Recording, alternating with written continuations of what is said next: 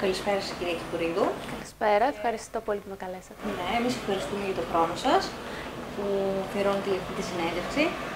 Λοιπόν, ήταν όνειρο ζωής να ασχοληθείτε με τη μετάφραση. Ήταν όνειρο ζωής μου γενικά να ασχοληθώ με τις γλώσσες. Όταν είχε φτάσει ο καιρός να επιλέξω σε ποια σχολή θα σπουδάσω, δεν είχα κατασταλάξει ακόμα. Οπότε ακολούθησα σπουδές στην αγγλική φιλολογία, μετά στην ισπανική και μετά ήρθε η μετάφραση. Ε, τι εικόνα είχατε για τη μετάφραση πρώτο ασχοληθείτε επαγγελματικά με αυτή και σε ποιο βαθμό; Δεν είχα καμία εικόνα.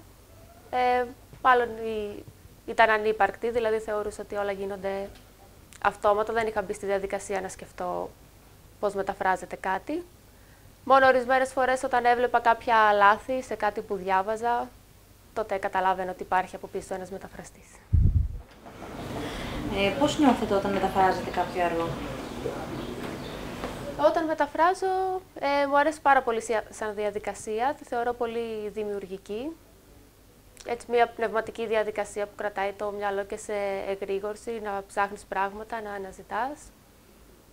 Ε, οπότε το απολαμβάνω, μπορώ να πω.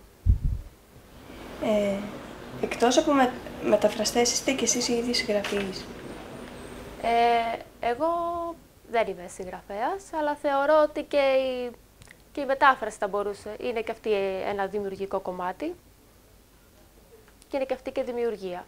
Όπως και η ανάγνωση με τη σειρά της μπορεί να θεωρηθεί μια δημιουργική διαδικασία. Υπάρχει κάποιος μεταφραστής που θαυμάζετε ή που έχετε ως πρότυπο; Δεν έχω συγκεκριμένα κάποιον ως πρότυπο, αλλά έχει τύχει πολλές φορές να διαβάσω ένα έργο και να θαυμάσω το έργο του μεταφραστή. Εξαρτάται από το έργο και τη δυσκολία του και μάλιστα α, λάβω και υπόψη μου ότι είχε μεταφραστεί κάποια άλλη εποχή όπου δεν υπήρχαν ε, οι πηγές που υπάρχουν ε, και σήμερα. Έχετε κάποια άλλη απασχόληση πλην της μετάφρασης; Ασχολούμαι με τη μετάφραση και με τη διδασκαλία και κάνω και το διδακτορικό μου αυτή τη στιγμή. Τι ιδιαίτερες ανάγκες έχει ένας μεταφραστής. Πού ξοδεύει το εισόδημά του; Ε, εξαρτάται. Ε, Αν πρόκειται για τεχνική μετάφραση, ίσως εννοείται ότι χρειάζεται κάποια υλικοτεχνική υποδομή, χρειάζονται μεταφραστικά προγράμματα. Ε, είστε ικανοποιημένοι από τις απολαβές σας από τη μετάφραση; Από την τεχνική μετάφραση θα έλεγα πως ναι είμαι. Ε, εντάξει, δεν είναι όπως ήταν και πριν κάποια χρόνια, αλλά ναι, θα έλεγα πως είμαι. Ε, βέβαια, αυτό οφείλεται και στις επιλογές που έχω κάνει, διότι έχω αρνηθεί αρκετές φορές να αναλάβω κάποιες δουλειές ή έχω αρ- αρνηθεί κάποιες συνεργασίες που δεν με ικανοποιούσαν. Γενικότερα είστε μ, αισιόδοξοι για το μέλλον της μετάφρασης στην Ελλάδα; Γενικά ναι, είμαι αισιόδοξος άνθρωπος, οπότε νομίζω είμαι και γι' αυτό. Και υπάρχουν, ε, η μετάφραση δηλαδή συνεχίζει να υπάρχει, δηλαδή και στη λογοτεχνία δεν έχουν μειωθεί τα βιβλία που μεταφράζονται. Μπορεί να αλλάζουν οι τάσεις και οι γλώσσες κάθε φορά που μεταφράζονται ή που προτιμώνται, αλλά υπάρχει. Τώρα και από τη τεχνική μετάφραση και αυτή θα συνεχίσει να υπάρχει. Το θέμα είναι υπό ποιες συνθήκες. Ε, ποια είναι η σχέση σας με τη γλώσσα από την οποία μεταφράζετε; Εγώ μεταφράζω από τα αγγλικά και από τα ισπανικά και από τα καταλανικά μερικές φορές. Και ναι, έχω... Η σχέση μου είναι καθημερινή, δηλαδή κάθε μέρα σχεδόν εκτίθεμαι σε αυτή τη γλώσσα. Μου αρέσει να διαβάζω σε αυτές τις γλώσσες. Αυτό βέβαια δεν είναι καλό για τους μεταφραστές. Αλλά ναι, είναι, έχω μια καθημερινή τριβή με τις γλώσσες. Ε, τι συμβουλές θα δίνατε σε κάποιον νέο που θέλει να ασχοληθεί επαγγελματικά με τη μετάφραση; ότι αν θέλει να ασχοληθεί σοβαρά και επαγγελματικά θα πρέπει να το ψάξει, να το κυνηγήσει, να προσπαθεί και ο ίδιος να βελτιώνεται, να παρακολουθεί την αγορά έτσι ώστε να προσαρμόζεται, να είναι λίγο πιο ευέλικτος.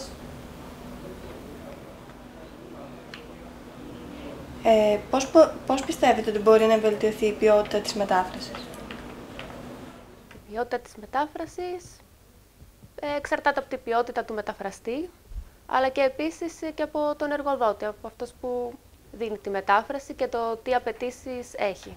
Αν εκείνος αρχικά δεν είναι απαιτητικός, τότε και δεν ελέγχει και την ποιότητα, τότε και η ποιότητα αναπόφευκτα δεν θα είναι υψηλή. Α, μ, ποια είναι η σχέση σας με τους συγγραφείς ε, τους οποίους μεταφράζετε; Ε, εγώ προσωπικά μόνο με έναν, ε, δύο, δύο συγγραφείς που έχω μεταφράσει, με τον έναν είχα κάποια σχέση, αλλά παρόλα αυτά δεν ε, επενεύει πουθενά, ούτε μου είπε τη γνώμη του για κάτι. Βέβαια, αν είχα εγώ κάποια απορία ή ήθελα τη γνώμη του, ναι, ήταν και για να μου τη δώσει. Ε, έχετε συναντήσει κάποιο συγκεκριμένο πολιτιστικό στοιχείο ή απόδοση το οποίο σας δυσκόλεψε ιδιαίτερα; Ή έχετε κάποιο παράδειγμα πάνω σε αυτό; Τώρα δεν μου έρχεται κάποιο παράδειγμα, αλλά θεωρώ ότι πλέον εύκολα μπορείς να βρεις τα πολιτιστικά στοιχεία. Δεν νομίζω ότι είναι τόσο δύσκολο πλέον. Σκεφτήκατε ποτέ να τα παρατήσετε, ενδεχομένως εξαιτίας ε, των πολλών ε, ταφραστικών δυσκολιών ενός κειμένου; Ε, όχι, αυτό δεν μου έχει συμβεί. Ε, και πώς ε, αντιμετωπίζετε την κριτική απέναντι στο έργο σας; Μέχρι στιγμής ε, έχω λάβει καλές κριτικές ή καθόλου κριτικές. Που και αυτό εγώ το θεωρώ καλό, γιατί για πολλούς ο μεταφραστής υπάρχει μόνο όταν κάνει κάποιο λάθος και ασχολούνται μαζί του. Αλλά θεωρώ ότι είναι καλό να υπάρχει κριτική, έστω και αρνητική. Θεωρείτε ότι έχουν γίνει εκτόσεις στην ποιότητα των βιβλίων; Εγώ δεν το έχω συναντήσει.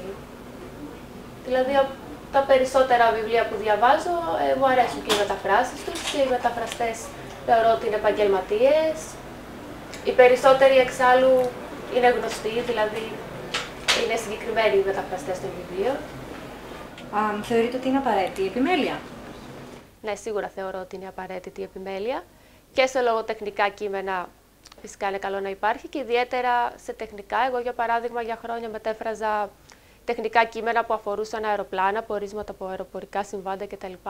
Τα οποία ενδεχομένως θα χρησιμοποιούνταν και σε ένα δικαστήριο και ένιωθα εννοείται καλύτερο όταν ήξερα ότι κάποιος γνώσης του αντικειμένου μετά θα έκανε την επιμέλεια. Ε, ανήκετε σε κάποια επαγγελματική ένωση μεταφραστών; Όχι, δεν ανήκω. Επειδή δεν έχει τύχει, θεωρώ φυσικά ότι καλό είναι που υπάρχουν και που βγάζουν το επάγγελμα του μεταφραστή προς τα έξω και διεκδικούν κάποια πράγματα. Μπορείτε να μας ε, πείτε ένα παράδειγμα καλής συνεργασίας ε, με τον εκδότη ή τον επιμελητή σας; Ε, καλό παράδειγμα θεωρώ ότι όταν ε, σίγουρα δεν πρέπει ως ένα σημείο να επεμβαίνει ο ένας στη δουλειά του άλλου, αλλά μου αρέσει μετά στο τέλος που γίνεται συζήτηση, που αλλάζουμε κάποια πράγματα, που ακούγονται διαφορετικές απόψεις, αυτό θεωρώ ότι είναι απαραίτητο, ιδιαίτερα και στη λογοτεχνική μετάφραση. Ποιος αποφασίζει για το τίτλο; Των έργων που μεταφράζεται. Τον τίτλο, τε... εγώ σε όσα έχει τύχει να μεταφράσω, ο εκδότης. Αλλά τουλάχιστον σε αυτά που έχω μεταφράσει εγώ ήταν η μετάφραση απλά του τίτλου από το πρωτότυπο. Δεν υπήρχε κάποια αλλαγή. Ε, πριν είπατε ότι μεταφράζετε από τα καταλανικά. Τα καταλανικά ήταν κομμάτι των σπουδών σας, πώς ξεκίνησε η μετάφραση; Τα καταλανικά ήξερα ισπανικά, εντάξει, και είχα πάει για ένα διάστημα στην Καταλωνία, στη Βαρκελόνη και εκεί παρακολούθησα και κάποια μαθήματα καταλανικής γλώσσας. Και επειδή δεν, υπάρχουν, δεν υπήρχαν πολλοί στην Ελλάδα που μετέφραζαν από τα καταλανικά στα ελληνικά, δηλαδή η μετάφραση γινόταν μέσω των Ισπανικών ή των Αγγλικών, ε, όταν μου είχε προταθεί να το κάνω, το έκανα. Και θεωρείτε ότι εφαρμόζεται ο νόμος περί πνευματικών δικαιωμάτων γενικότερα στη μετάφραση.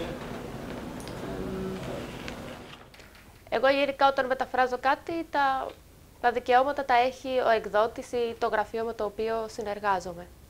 Ποιο είδος ε, λογοτεχνίας σας κεντρίζει περισσότερο το ενδιαφέρον. Ε, πολλά είδη, εξαρτάται αναπεριόδους. Ε, αυτή την περίοδο, για παράδειγμα, εγώ διαβάζω και ασχολούμαι πολύ με τον μεταμοντερνισμό. Ευχαριστούμε πολύ για το χρόνο σας.